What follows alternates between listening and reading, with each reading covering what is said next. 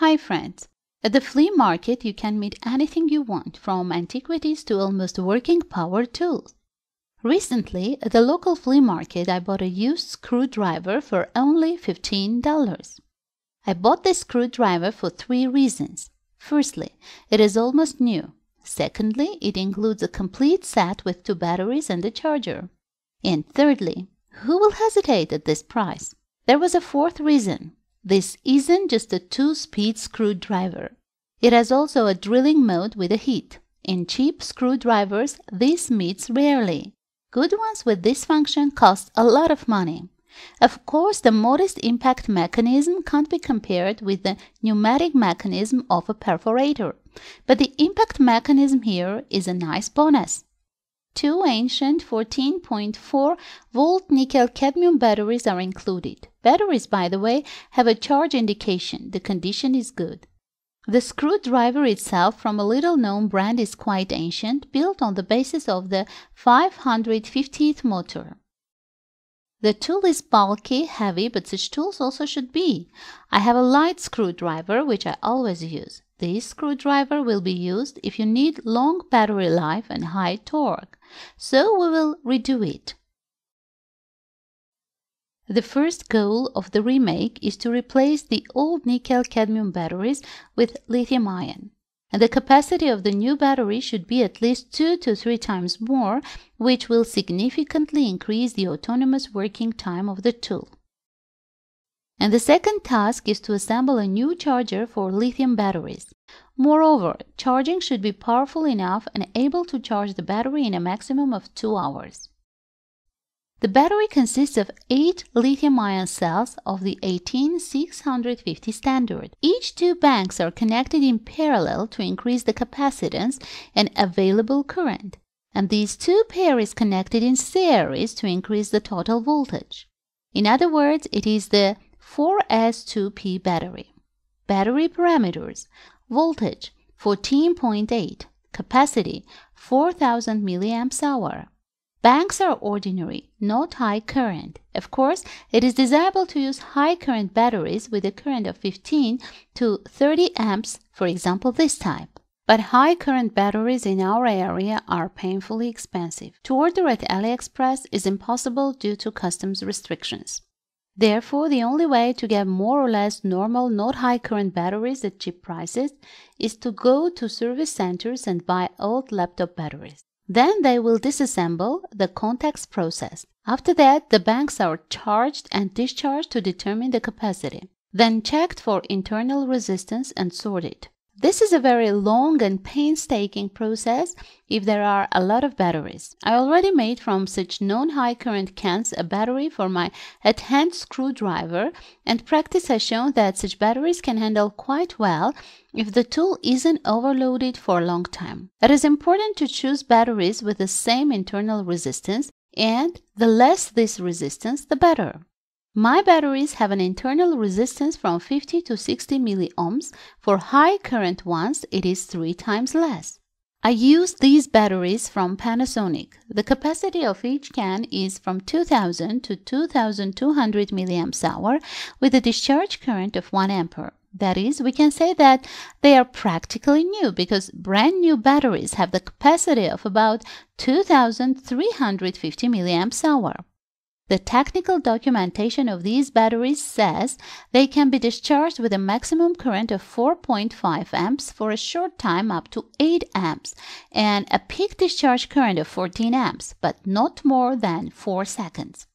We have two cans in parallel, that is, the maximum discharge current can be up to 9 amps and short term up to 16 amps, peak to 28 amps. In fairness, I will say that I discharged the assembled battery with current up to 20 amps within 30 seconds. Process was normal. There was heating, but within the acceptable range. To install the battery holders were made on 3D printer. They can be bought online for a penny and their quality will be much better. But why to buy and wait delivery if you can print it? Protection board. Without this thing, it is extremely undesirable to use a lithium battery. It protects the battery from deep discharge, overcharging, and short circuits. In my case, a cheap protection board for 4 lithium cells is used. The protection current of the board is 15 amps, but you can slightly increase it by reducing the resistance of current shunts. The batteries are connected using several layers of tinned copper tape. Such are used to connect solar modules. Yes, this time I decided not to weld but to solder the batteries.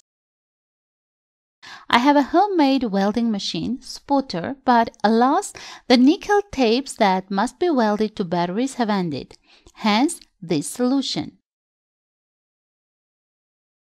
When soldering, the main thing isn't to overheat the batteries and solder quickly.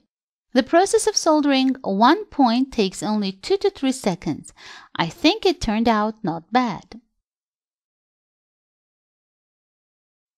To connect the protection board, special elastic wires in heat-resistant insulation are used. For power connections, two or three wires, 22 American wire gauge are used. The protection board is attached to the battery through an insulator. In my case, it is a FR2 or so-called X plate. Under the wires is added insulation with Kapton heat-resistant tape. The board itself was fixed with a sealant. The same sealant was used to fix the solder points of wires. Next, the assembled battery went through a couple of charge and discharge cycles, all the protections were checked, and only after that it was installed in the case. The nickel cadmium batteries of this screwdriver were sent to recycling. I kept only connection strips and an indication board.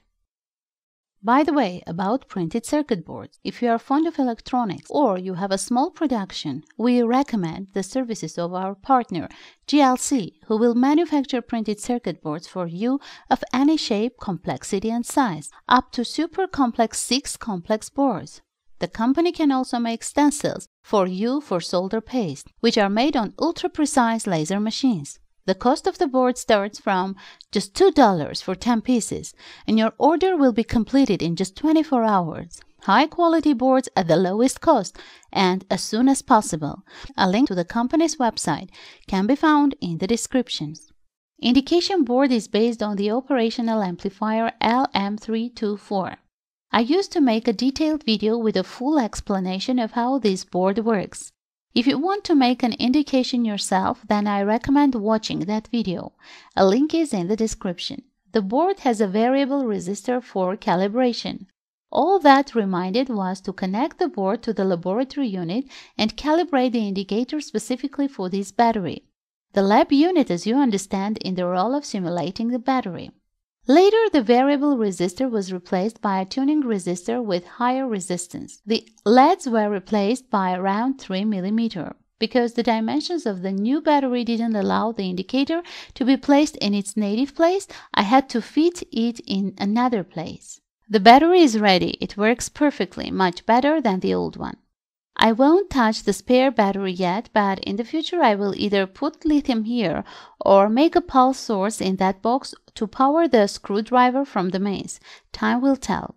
I charged both batteries and decided to check rotate at idle. With the old battery at the second speed, I get about 1000 RPM. Under the same conditions with the new lithium, the RPM is almost the same. The native charger isn't suitable for the new battery. In case of rework, everything needs to be replaced, so we will do it from zero. This charging is based on an iron transformer, nothing ingenious. In the charging box, settle the transformer with a rectifier in the docking station, an indication board. A lithium ion battery needs a charger that provides stable current and stable voltage. For example, we have a battery of four series connected lithium cans. Each need to be charged to a voltage of 4.2 volts. Multiply this by the number of series connected cans and we get 16.8 volts. To fully charge the battery, our charger should give out a little more of that. The charge current depends on the type of battery. In general, the recommended charge current for ordinary lithium-ion batteries should be half of the battery's capacity but it's allowed to charge with a current equal to the battery capacity. In my case, the battery capacity is 4 amperes hour. The nominal charge current should be around 2 amps. In search of a simple and super cheap charger, this was created. It's universal switching power supply with stabilization of current and voltage, and this source is built on only two transistors without any microcircuits, but not always everything goes as smoothly as we would like. In theory, everything should have worked, but in practice, the current limiting system works incorrectly. And instead of sitting and adjusting the circuit, I took a ready-made 15 volt power supply and a popular 5 ampere current and voltage stabilizer board based on the XL4015 chip. This charger is actually very promising. It is universal with power up to 50 watts and it can easily be adjusted to charge almost any battery. I will definitely finish it as soon as free time appears. And now about the charger on the ready modules. There are two trimmer resistors on the stabilizer board for adjusting current and voltage. The board located at the docking station. I left LEDs stay at board because there are slots on the docking station and lighting of LEDs is clearly visible. We connect the board to the laboratory power supply and fed about 20 volts to the input. By rotating the voltage responsible trimmer, we set 16.8 volts at the output of the stabilizer. Then we close the output of the stabilizer through the ammeter and by rotating the trimmer responsible for current stabilizing, set the output about 2 amps. Next, let's go to the power supply. This is a very high quality main switching power supply. I buy them in Chinese online stores for a mere penny because they are used and taken out from something. They have high efficiency, a bunch of all kinds of protection and good stabilization. Specifically, this unit produces 15 volts at an output of up to 1.8 amps. But 15 volts isn't enough for us. We need at least 18 to 20. The current is also small. Firstly, I misled the protection system of this unit by replacing the current sensor with the lower resistance. After that, the unit began to calmly hold 2 amperes. This is a lot for him, but so far everything is fine. Voltage feedback here is realized in the classical way, using an optocoupler and a reference voltage source TL431. Nearby of this microcircuit we have two resistors which set the output voltage. I change one of the resistors to a multi-turn trimmer and by rotation get the output voltage we need. Next, we can unsolder the trimmer, measure the resistance, and replace it with a constant resistor. Also, you can leave trimmer, but it is advisable to glue the screw. Next, we join the power supply with the stabilizer board and you're done. Unfortunately, the housing in which the transformer was located is too small and the pulse unit didn't fit there. I had to find another box. This charger will charge the battery with a stable current of no more than 2 amperes to a voltage of 16.8 volts. The indicators on the stabilizer board will show the charge status. A fully dead battery will charge about 2 to 2.5 hours, which is quite good. Now let's test screwdriver's operation. I set the second speed and the ratchet into drilling mode so that it doesn't work. I hold the cartridge and pull the trigger.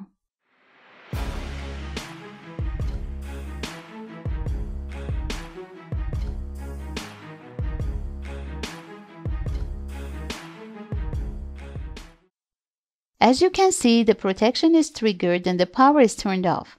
I won't tighten the screws. The battery is very capacious and you understand it will tighten a lot of screws. We will work with a 25 mm feather-shaped drill for wood.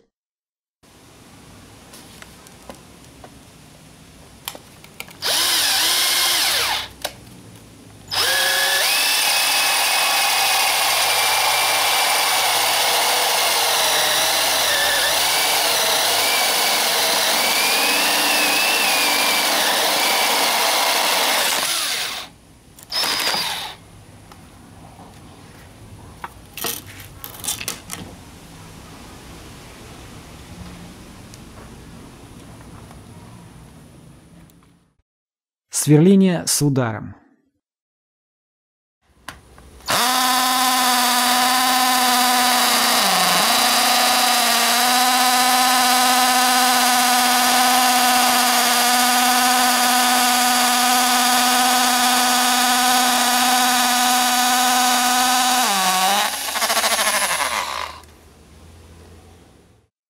Drilling with a hit. Everything is working. I'm satisfied with remake. One drawback, I didn't use a balancing system to equalize the voltage on the lithium cans. This is of course not correct, but I have done without it before and if necessary, I will add a balancer. That's probably all. Everything you need, including links to purchase of components, can be found in the description. Please don't forget to rate this video and subscribe to my Instagram. Now I say goodbye. Until next time. With you was Kasyan TV.